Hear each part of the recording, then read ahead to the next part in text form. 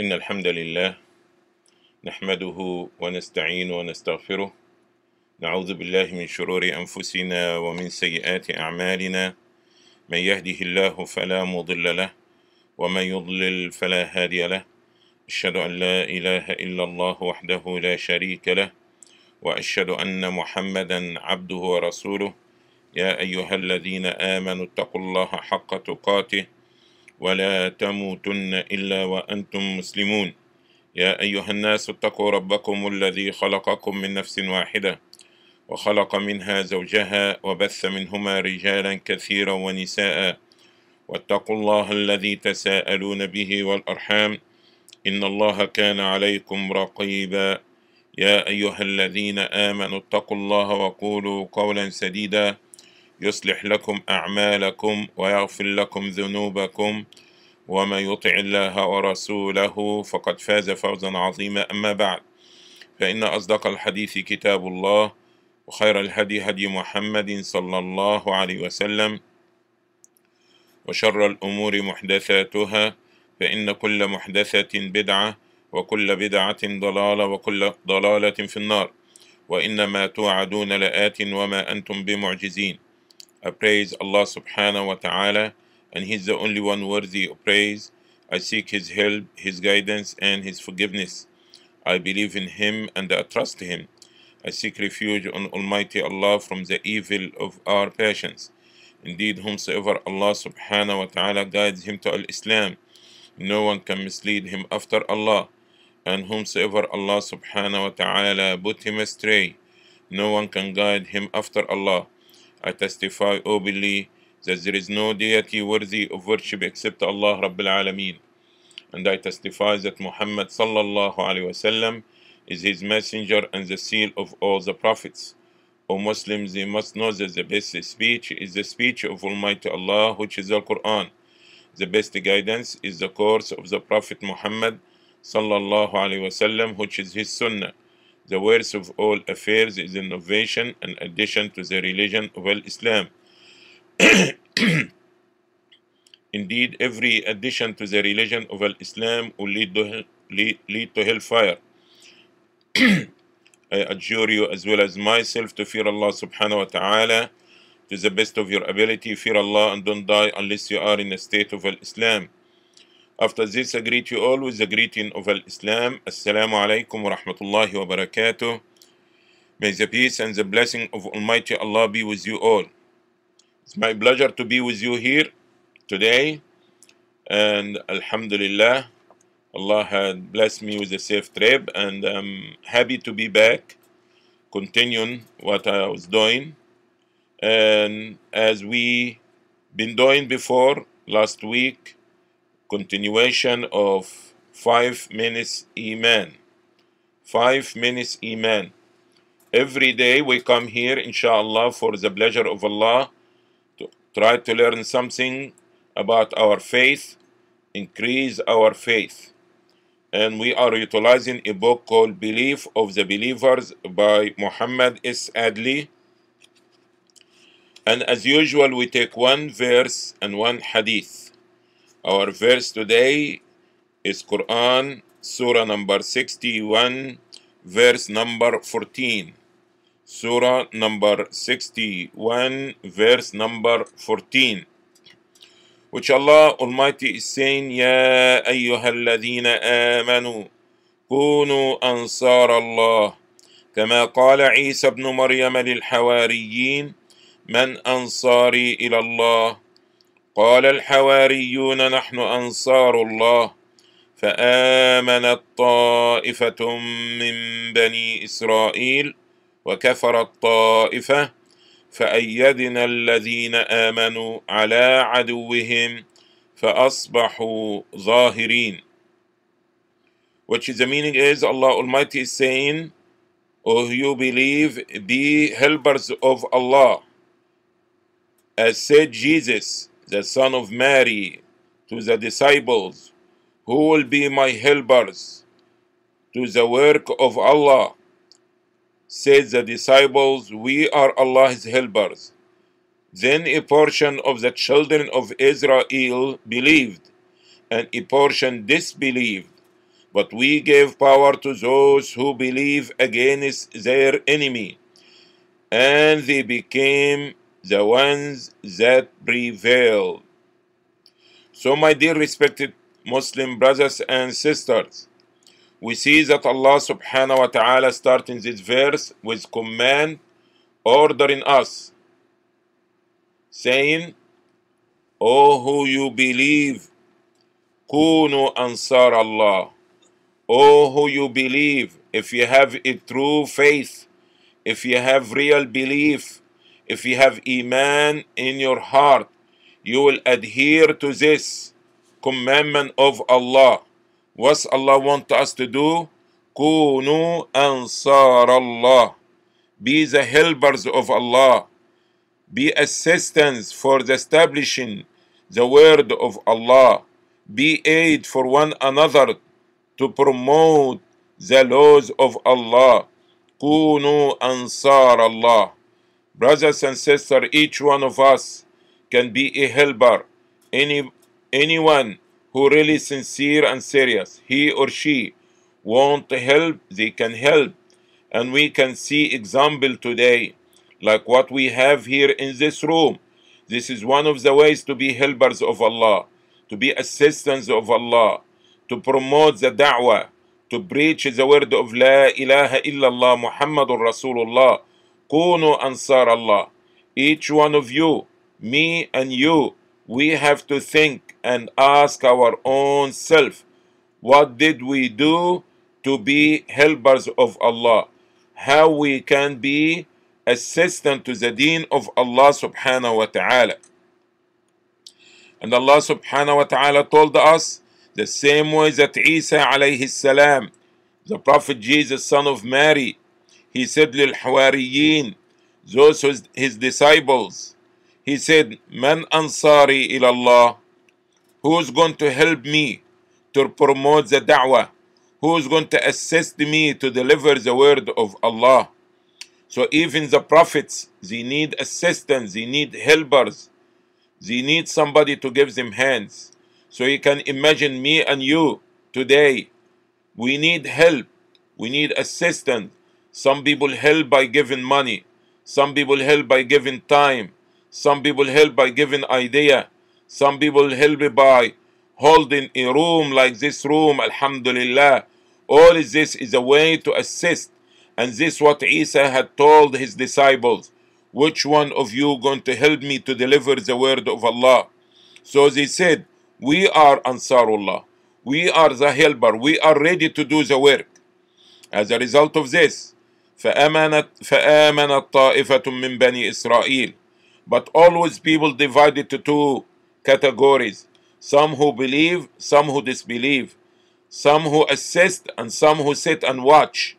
Some people they hasten to the remembrance of Allah. Some people they believe and some people they disbelieve. So what happened? Allah subhanahu wa ta'ala saying, and this is our point here. فأيدنا الذين آمنوا فأيدنا الذين آمنوا على عدوهم So Allah had assist, Allah had help, Allah had support those who believe. When you become a believer, Allah assists you. Allah will help you. Allah will aid you. Allah be with you. Why? Because you show your help, you show your promotion to this deen, your da'wah, your assistance.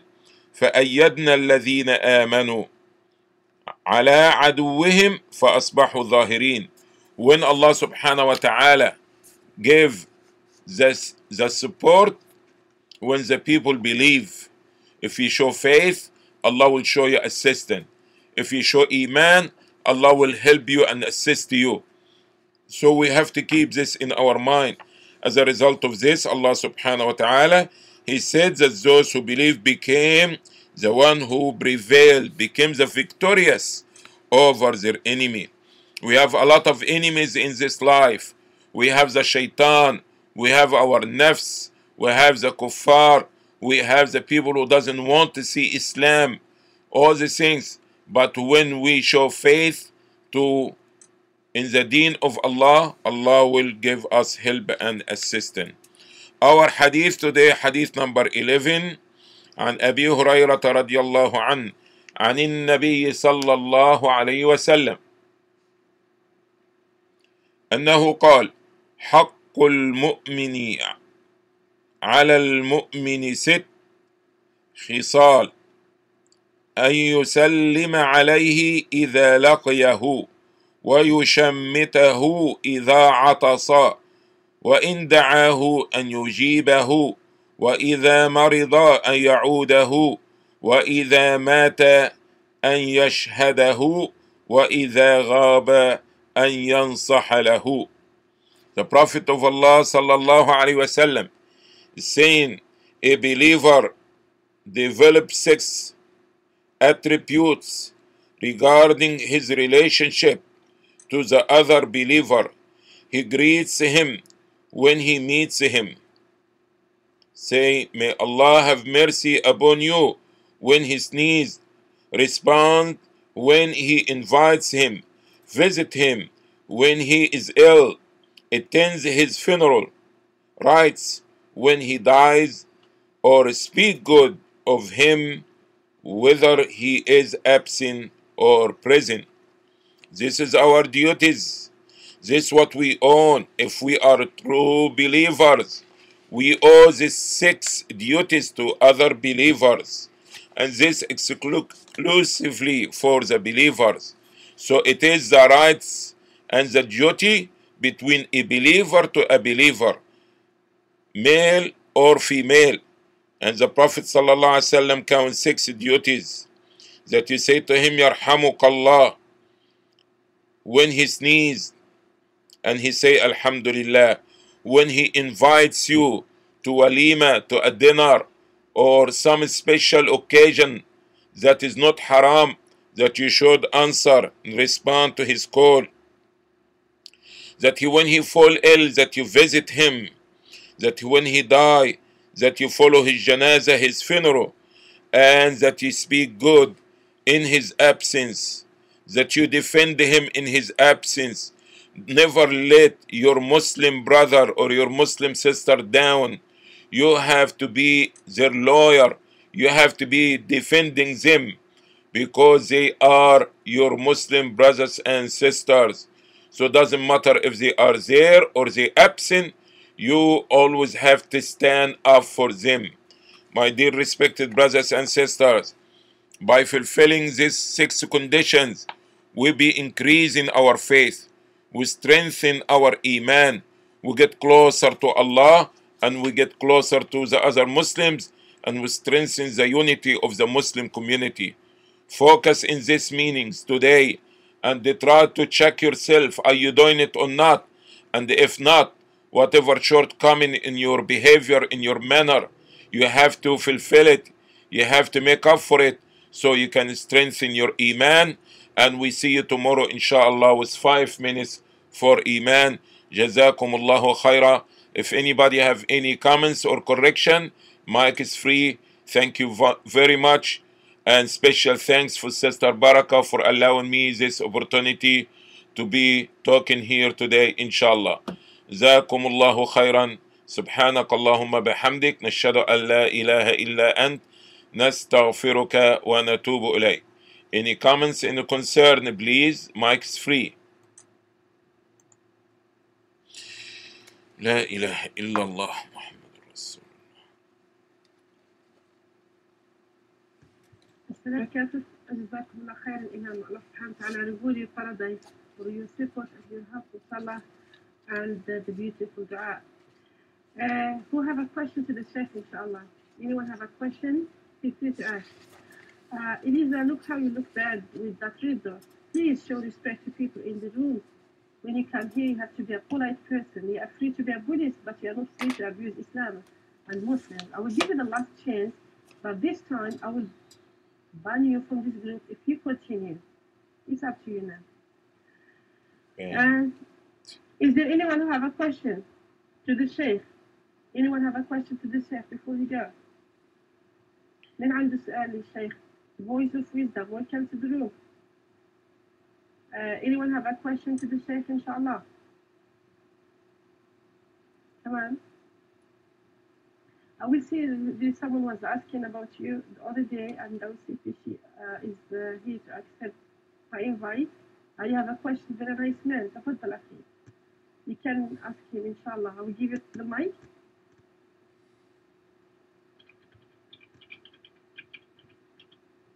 Um, this person was asking me, so I have to PM her.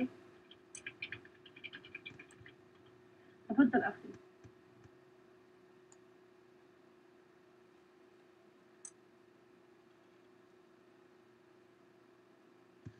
Uh, Assalamu alaikum.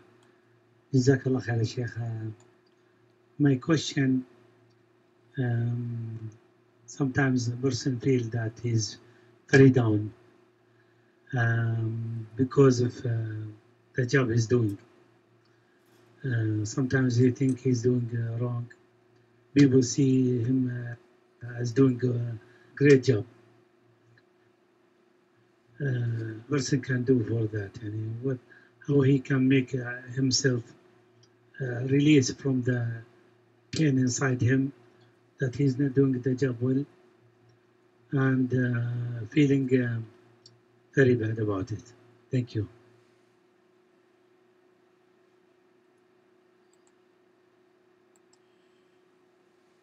Alhamdulillah wa salatu wassalam ala Rasulillah. First of all, thank you for asking. Secondly, we need to not to live in suspicion. We need to be optimistic, but in the same time, we don't want to be living in suspicion. As a result of this, we have to understand what are we doing, because as the Prophet sallallahu alaihi wasallam had told us, إذا سرتك حسنتك وأساءتك سيئتك فأنت المؤمن. If your good deed make you happy and please, and your sin or wrongdoing disturb you and bother you, you are a believer. So we have to make sure what we're doing is right or wrong Islamically. So if we don't know, فَاسْأَلُوا أَهْلَ الذِّكْرِ إِن كُنتُمْ لَا تَعْلَمُونَ We ask the people of knowledge. You tell the people, I'm doing such and such, where I stand from Islam. So this will be clarifying the matter for you instead of be suspecting yourself. If they said to you, this is haram, so you have to do your best to give it up. But if they tell you something okay, acceptable, so now you release yourself from this burden of suspecting yourself. Also, use the advice of the Prophet sallallahu alaihi wasallam that he said to Mu'adh, والله إني لأحبك يا معاذ فلا تدعن أن تقولن بعد كل صلاة اللهم أعني على ذكرك وشكرك وحسن عبادتك Oh Allah, enable me to remember you, to be grateful to you, and to worship you in the best manner. This is the wasiyah, the advice of the Prophet wasallam that he gave it to Mu'adh because he loves him. So inshallah, with this dua that you say after every obligatory prayer, and for you also to check about what you're doing with a scholar or a learned person to make sure that is right or wrong Islamically. So if wrong, you give it up, and if it's right, inshallah, stand firm and continue with it And turn to Allah in dua. Turn to Allah subhanahu wa ta'ala in dua. And if you have any disturbance, there is a special dua that you can say. And inshallah, if you already memorize, you know it, say it, and Allah will relieve you from this burden. If not, inshallah, you find it in Hisn al-Muslim or al-Wabil al-Sayyib, inshallah. اللهم إني عبدك وابن عبدك وابن أمتك ناصيتي بيدك عدل في قضاؤك ماض في حكمك. أسألك بكل اسم هو لك سميت به نفسك أو أنزلته في كتابك أو علمته أحد من خلقك أو استأثرت به في علم الغيب عندك. أن تجعل القرآن العظيم ربيع قلبي. To the end of the dua inshallah and we Allah subhanahu wa ta'ala ask him to help you and help us and all the Muslims inshallah make things better for all the Muslims Ameen all right I don't see any other hands thank you very much last call for any comments any concern any question Inshallah, if not, I'll see you tomorrow, inshallah. جزاك الله خير أختي أم أنس بارك الله فيكي آه الله يعينك يسدد خطاك والله سبحانه وتعالى يعطيك من السمك ما تريدين وأكثر مما تريدين ويرسل لك إن شاء الله أدمن ابن حلال أو بنت حلال. سلامي إلى أنس. السلام عليكم ورحمة الله وبركاته. سبحانك اللهم وبحمدك نشهد أن لا إله إلا أنت نستغفرك ونتوب إليك.